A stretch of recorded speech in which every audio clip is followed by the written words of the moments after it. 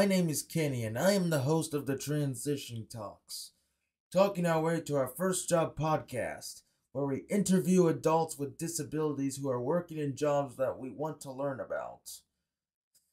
Through these conversations, we aim to inspire and empower young adults with disabilities to pursue their own career goals and aspirations. We will be talking to a diverse range of professionals, from teachers to entrepreneurs to artists to scientists, to learn about the exp- to learn about their experiences and the challenges they have overcome to succeed in their fields. So sit back, relax, and join us on our journey to discover the possibilities for people with disabilities in the workforce. Join us as Anthony, a young adult participating in a community transition program, interviews Hannah, an elementary teacher who teaches autistic students, to learn about Hannah's early work experience, how she asks for support, and hear the encouraging words she gives to Anthony. Hi, yo, and welcome to our podcast, uh, Transition Talks talking our way to our first job. My name is Anthony, and someday I want to be a kindergarten teacher. Uh, today we are interviewing Hannah, a teacher at Sunset Hill Elementary here in Lawrence. Hi, Hannah. How are you today? I'm great. How are you doing? I'm doing great uh, so far. Let's get started. Uh, can you uh, tell us a little bit about yourself and your current job? So, my name is Hannah, and I do work at Sunset Hill. I'm currently working as an autism teacher for uh, about five children, and all of them are nonverbal and use devices for communication education. Right now, I have kids in the first, second, third, and fourth grade. Ooh. Okay. What was your first paid job? My first paid job, I was a dishwasher at a senior center. Hmm, that's funny. How did it help prepare you for your current role? It helped me prepare for my current role because it made me not quit things, even when they were hard to do. Right, okay. How did you deal with any nervousness about your first job? I had a lot of nervousness, and I still have nervousness even at this job sometimes they get nervous when I have to talk to parents or coworkers or when I have to do a lesson, and it can be really hard. But what I do is I just take a really big deep breath and I remind myself that most people are nice, and we just have to remember that. That's cool. Okay.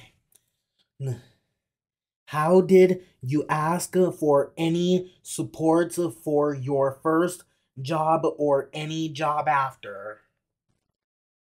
Well, when I have to ask for support, I I just I always bring a notebook and I always make sure that I have all of my questions written down before I ask somebody.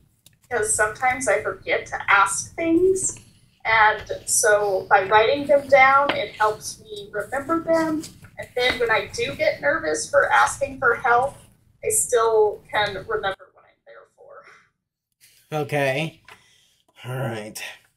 What challenges have you faced as a person with a disability in the workplace and how have you overcome them? College, I was diagnosed with um, moderate autism, and it did explain a lot of things that I've always had trouble with in my whole life.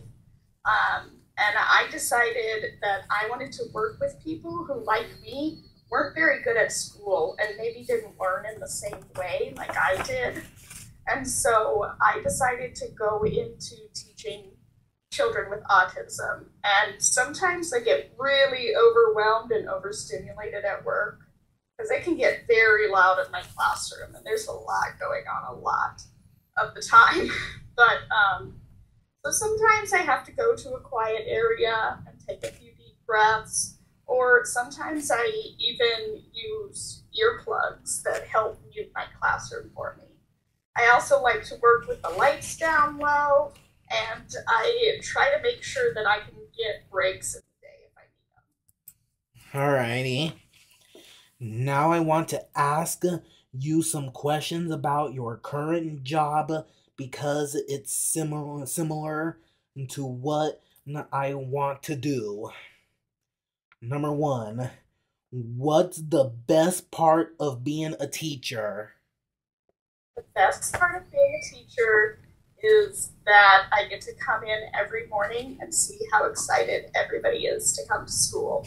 So when I wait in the hallways for my kids to come down, all these other kids are happy and excited to come to school, and then my kids are too. Okay. How many hours a week do you work? I work a lot of hours a week. I I I do work during the school day, which isn't too long because it's only from 8 a.m. to about 3:45. But then I do a lot of work on the weekends too because I like to plan new and different things for my students to do. All righty. What do you would do when the kids don't listen to you? Well, sometimes I get really upset that they don't listen to me. But what I do is I just go up to them and I look them in the face and I say, Did you hear what I said? And that way they I can make sure that they can hear me and are listening to me. okay. How um, do you get their attention? I get their attention normally by saying their names, but sometimes if they're really into what they're doing, I may have to tap them on the shoulder. Okay. All right. How many kids do you have in your classroom? I have five kids right now. Okay. What kind of activities do you do with the kids? So we do math, reading, science, and social studies. And then we also do um, dealing with emotions and social situations on how to make friends and how to be helpful in the classroom and the school. So we cover a lot of things, but we also have time to play games and do crafts too. That's cool. Okay. How old are uh, the students in your class? So I have one student who's in first grade, one that's in second grade, two in third, and one in fourth. Okay. What does a typical day look like? So, first, we have our morning meeting in the morning where we go over everything that's going to happen for that day, what our specials are, what the weather is like. Just kind of start the day with breakfast and a morning meeting. And then after that, everybody works independently. We do our math and our science and social studies. And then we do reading after lunch and have some quiet time. And then the end of the day, we normally go and play outside. Alrighty. What is your least favorite part of your job? Least favorite part of the job is probably when I have to clean my room a lot when it when there's mm-hmm. flu season and things. I don't like cleaning things, so Ooh. for me. I can say that. Yeah. Mm, okay.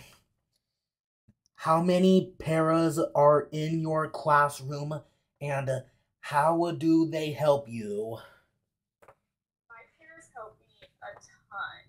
They help me by helping to teach lessons, working with kids. They read books to them and take them on walks when they need to get out of the classroom.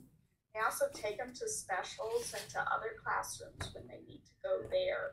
I have three parents right now. Oh, that's good. Yeah. What advice uh, can you give me to help me learn how to be a kindergarten teacher? My advice would be to be yourself because the things that make you different are what makes you a good teacher. So sometimes if you think differently than other people do, chances are there's other kids that think differently too. Alrighty. Okay, we are finished with the serious questions. Before we finish, I want to ask you some fun rapid fire questions. Are you ready? I'm ready. Okay. What is your favorite cartoon? My favorite cartoon, SpongeBob, probably. I mean, mine too. What is your favorite TV show? My favorite TV show, um, right now I've been watching Abbott Elementary. Oh, that's cool. What is your favorite uh, subject to teach in school? Um, probably science. I like science. That's cool. If you could have any superpower, what would it be and why? I would want to fly because then I could just fly anywhere and go on vacation all the time. Uh, that's cool. Okay. If you could travel anywhere in the world, where would you go and why? I would go to Brazil because I've always wanted to see the rainforest. No, that's cool. What is your favorite pet? Uh, I have two hedgehogs right now, and I I really love those guys. I love my hedgehogs. That's good. What is your favorite meal? my favorite meal is Indian food. Oh, that's cool. And thank you so much uh, for talking uh, the time uh, to talk uh, to me.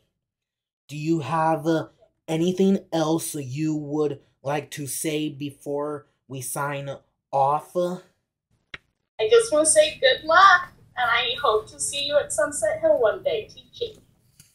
Alrighty. Okay, thanks. Uh, and have a great day. You too. Bye. See ya.